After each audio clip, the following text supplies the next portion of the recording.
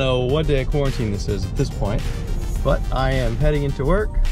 Got to get some essential business done. I'm actually going to try and go to Pier 39 today to take a look around and see if there's any businesses open there. I kind of doubt it. I am curious to see what it looks like. So, hitting the roads. Looks like I'll make it to San Francisco in about 35 minutes.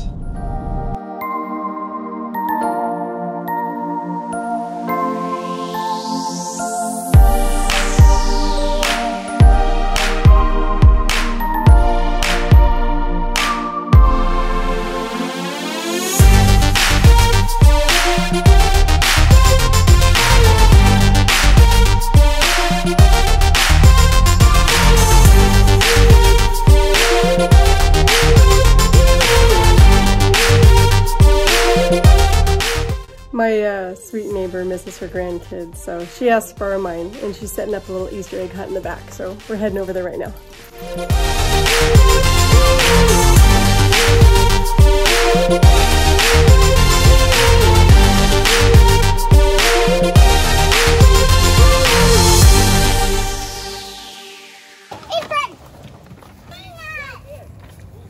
Finally leaving work and I'm gonna head by Pier 39 and Fisherman's Wharf area just to check it out.